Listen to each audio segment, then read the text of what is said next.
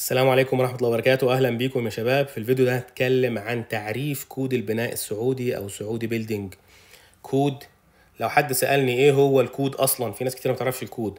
الكود مجموعة من الاشتراطات والمتطلبات وما يتبعها من لوائح تنفيذية وملاحق متعلقة بالبناء والتشييد لضمان سلامة المبنى لضمان السلامة والصحة العامة وترشيد الاستهلاك للمياه والطاقة.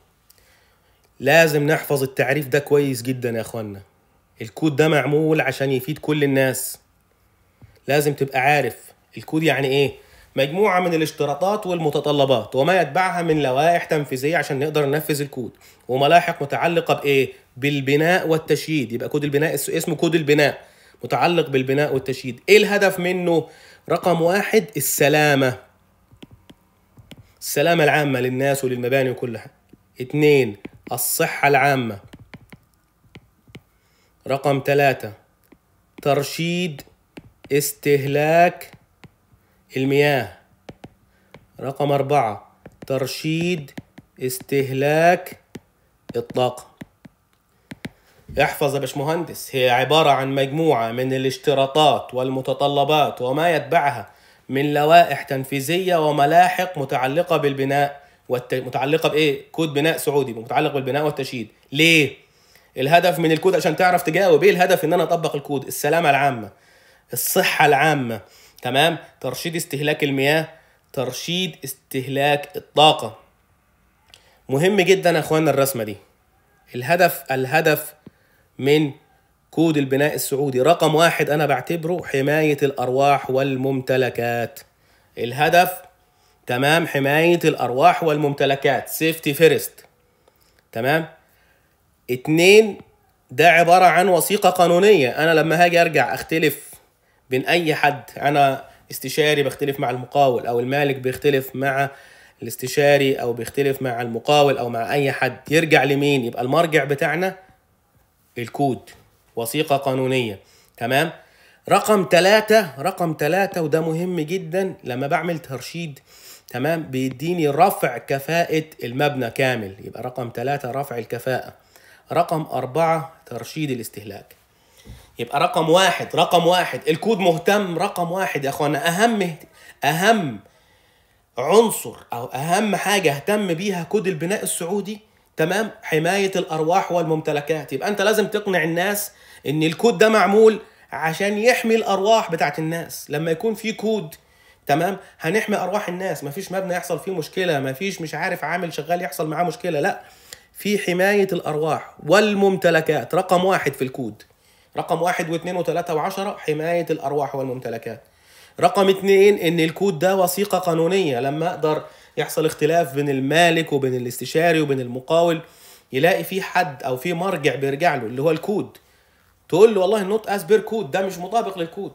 حسب البند الفلاني رقم كذا بيقول كذا الكود.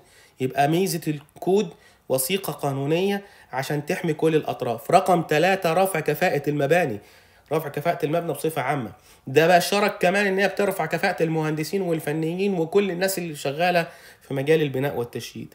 رقم أربعة ترشيد استهلاك الطاقة واستهلاك المياه. ده نتيجة تطبيق الكود. لولا الكود لم يتم ترشيد الاستهلاك. طيب.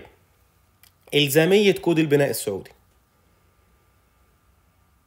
لازم يا أخوانا الالتزام بالحدود الدنيا للتصميم المعماري والانشائي لازم في التصميم المعماري والانشائي يا أخوانا ألتزم بال minimum requirement زي ما بيقولوا.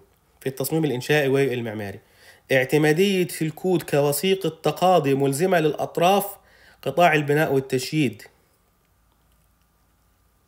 الكود ده خلاص معتمد دلوقتي قانوني وثيقة تقاضي. والله أنا لو رحت لحد الناس اللي بتشتغل تمام؟ تدي تقارير فنية عن والله مين اللي عنده الحق المقاول الاستشاري المالك. لازم يرجع لبند الكود. والله يقول له كده في البند الفلاني آه، في الكود السعودي بيقول كذا كذا كذا. يبقى الكود وثيقة تقاضي. ملزمة للأطراف في قطاع البناء. توفير اشتراطات الأمانة والسلامة بما يتلائم مع طبيعة المبنى.